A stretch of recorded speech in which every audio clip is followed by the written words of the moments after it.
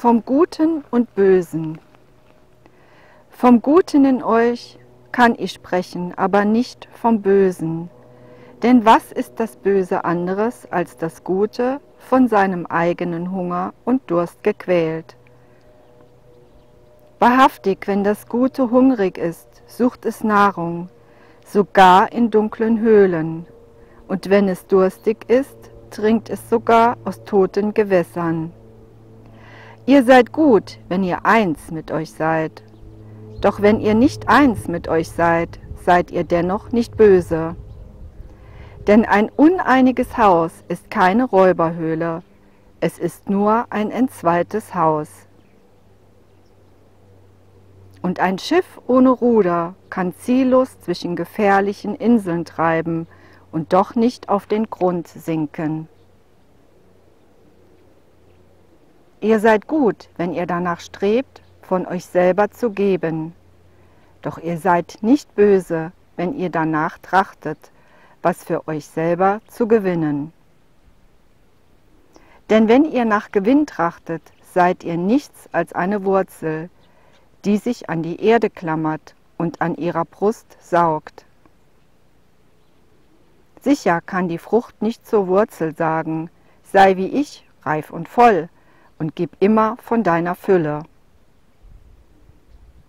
Denn für die Frucht ist das Geben eine Notwendigkeit, so wie Empfangen eine Notwendigkeit für die Wurzel ist.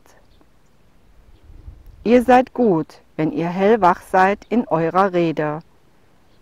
Doch ihr seid nicht böse, wenn ihr schlaft, während eure Zunge ziellos stammelt. Und selbst holpriges Reden kann eine schwache Zunge kräftigen. Ihr seid gut, wenn ihr fest und mit kühnen Schritten auf euer Ziel zugeht. Doch ihr seid nicht böse, wenn ihr hinkend darauf zugeht. Selbst die Hinkenden gehen nicht rückwärts. Aber ihr, die ihr stark und schnell seid, seht zu, dass ihr nicht vor den Lahmen hinkt und es für Freundlichkeit haltet. Ihr seid auf zahllose Weisen gut, und ihr seid nicht böse, wenn ihr nicht gut seid. Ihr seid nur säumig und faul. Schade, dass die Hirsche den Schildkröten nicht Schnelligkeit beibringen können. In eurer Sehnsucht nach eurem höchsten Ich liegt eure Güte und diese Sehnsucht ist in allen von euch. Aber in einigen von euch ist diese Sehnsucht ein Wildwasser, das mit Macht zum Meer rast und die Geheimnisse der Hügel und die Lieder des Waldes mit sich trägt.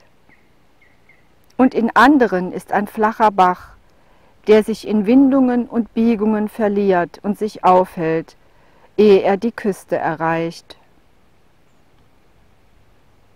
Aber wer viel ersehnt, sage nicht zu dem, der wenig ersehnt, warum bist du so langsam und zaghaft? Denn die wahrhaft Gute fragt nicht den Nackten, wo ist dein Gewand? Und auch nicht den Obdachlosen, was ist mit deinem Haus geschehen?